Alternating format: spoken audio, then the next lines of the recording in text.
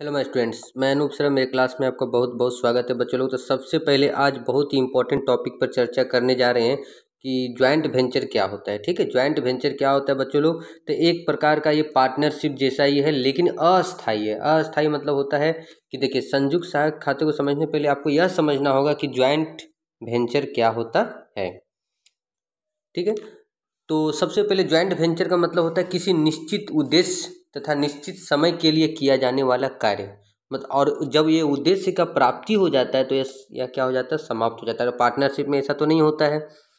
ठीक है? तो मतलब किसी खास उद्देश्य के लिए इसमें दो या दो से अधिक आदमी उस उद्देश्य को पूरा करने के लिए एक साथ आते हैं, और उस उद्देश्य जब पूरा हो जाता है तो ये ज्वाइंट वेंचर भी क्या हो जाता है? ख़त्म हो जाता है। तो जो व्यक्ति शामिल होते हैं इसमें, जिस तरह पार्टनरशिप में जो पार्टनर जो पार्टनरशिप में जो सबको क्या बोला जाता था? पार्टनर बोला जाता था। इसमें क्या बोला जाता है? जो भी ज्वाइंट वेंचर में जो पार्टनर रहते हैं, उसको क्या बोला जाता है? को वेंचर बोला जाता है। याद रखिएगा बच्चों लोग को वेंचर ठीक है? क्या बोला जाता है? को वेंचर बोला जाता है। जिस तरह पार्टनरशिप में प्रॉफिट एंड लॉस को बांटा जाता है तो उसी तरह इसमें भी प्रॉफिट एंड लॉस को बांटा जाएगा। अगर रेशियो दिया है तो बहुत अच्छा बात है। नहीं दिया है तो बराबर बांटा जाएगा। इसके बाद बच्चों लोग नेक्स्ट हम लोग चलते हैं। इसकी क्या विशेषताएँ हैं? तो सबसे पहले विशेषताएँ क्या है? कि जो ज्वाइंट वेंचर अस्थायी होता है। अस्थायी मतलब इसका निश्चित नहीं है। काम पूरा ज्वाइंट वेंचर खत्म। या किसी विशेष कार्य को पूरा करने के लिए किया जाता है। जैसे पुल बनाना हो, मेला में खिलौना बेचना हो या किसी तरह का मेला ख़त्म पार्टनरशिप ख़त्म। इसकी स्थापना दो या दो से अधिक व्यक्तियों के द्वारा की जाती है। इसमें, इसका फर्म का कोई नाम नहीं होता है, कोई पंजीयन नहीं कराया जाता है, या किसी भी व्यवसाय के लिए किया जाता है, ठीक है? कोई भी व्यवसाय के लिए इसको किया जाता है। किन किन में ज़्यादा होता है तो देखिए, जैसे बिल्डिंग कोई प्रकार का कॉन्ट्रैक्ट लेना, किसी का मान लीजिए कोई एसेट्स बेचना, उसका खरीद बिक्री के लिए, या कोई सामान कंसाइन करने के लिए, या शेयर और डेवेंचर का अंडर राइटिंग के लिए किया जाता है बच्चों लोग। अब हम लोग क्या है कि ज्वाइंट वेंचर और पार्टनरशिप में क्या अंतर है? बहुत ही इंपॉर्टेंट क्वेश्चन है ये बच्चों लोग।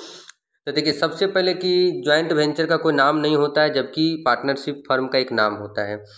इसका उद्देश्य क्या होता है? एक निश्चित समय में काम पूरा होने तक बिज़नेस करना, ये हम लोग का निरंतर चलता है पार्टनरशिप उसके बाद क्या होता है? ज्वाइंट वेंचर का रजिस्ट्रेशन कराना अनिवार्य नहीं है, जबकि पार्टनरशिप का ज्वाइंट पंजीयन कराना अनिवार्य है।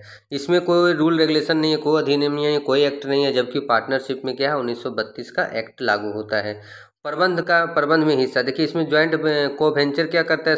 सभी को वेंचर पार्टिसिपेट करते हैं उसका संचालन में, लेकिन इसमें कोई ज़रूरी नहीं कि सभी पार्टनर ही पार्टिसिपेट करेंगे मैनेजमेंट में, ठीक है?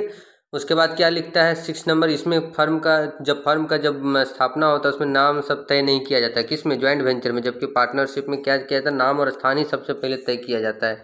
सदस्य की संख्या, इसमें कम से कम दो और अधिक में कोई सीमा नहीं है, लेकिन आप लोग जानते हैं, पार्टनरशिप में कम से कम दो और अधिक से अधिक पचास है। यहाँ पर बीस लिखा हुआ लेकिन अधिक से अधिक पचास हो गया, बैंकिंग में दस। और इसमें क्या किया जाता है? इसमें ज्वाइंट वेंचर अकाउंट बनाया जाता है। इसमें ज्वाइंट वेंचर अकाउंट बनाया जाता है किस ज्वाइंट वेंचर अकाउंट में। लेकिन पार्टनरशिप में आप लोग भी जानते हैं revaluation account partners capital account balance sheet PL adjustment account PL appropriation account बहुत सारे अकाउंट बनाए जाते हैं। ठीक है?